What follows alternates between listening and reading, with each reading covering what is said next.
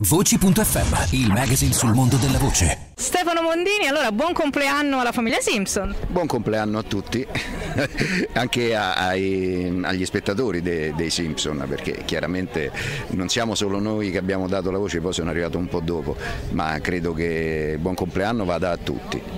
Allora, tu dai voce eh, in questa splendida e divertentissima saga al, um, al, preside Skinner, ma non solo, perché tu fai più di un personaggio. Sì, doppio anche Barney Gamble. Eh, eh, sono agli antipodi, diciamo. Sì, poi per incidente, perché quando sono subentrato che doppiavo il preside Skinner, e Tonino Accolla, che all'epoca era il direttore della serie, mi disse Stefano mi copri due battute di questo personaggio qua, guarda, cambia voce, fai un'altra cosa, abbiamo inventato quella voce e poi lui è rimasto, insomma. Invece il preside Skinner com'è andata? Preside Skinner sono stato scelto successivamente, nel senso che sono stata una voce che è arrivata più avanti, sempre mh, Tonino che mi ha scelto. Io poi all'inizio addirittura ho fatto il provino per Homer, quindi forse chissà, i Simpson erano nel mio destino. Cosa direbbe il preside Skinner? Mannaggia, volevo fare Homer? Bah, forse fare Ober non era proprio la scelta giusta perché è un uomo un po' dissoluto. Senti, ovviamente tu non sei soltanto nei Simpson, però intanto ti chiediamo che cosa ti ha dato questa, questa serie e che cosa pensi di questa famiglia così gialla, tra le altre cose.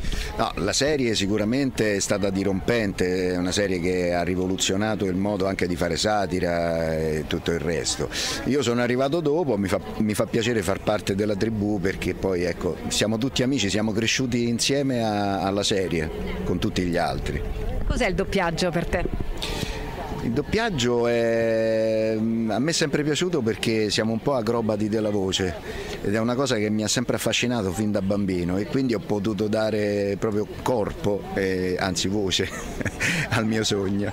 A parte i Simpson, qualcuno a cui sei particolarmente insomma, felice di aver potuto doppiare? Beh, anche perché mi hanno dato una continuità e una, per esempio eh, il dottor Webber di Grey's Anatomy, Mike Herman Trout di Breaking Bad e Better Call Saul, insomma sono dei personaggi che mi stanno dando anche parecchia notorietà, eh, oltre ad avere il piacere di doppiarli. Quindi lavorare con la voce possiamo dire che è meraviglioso? Eh, è splendido per me, è la vita.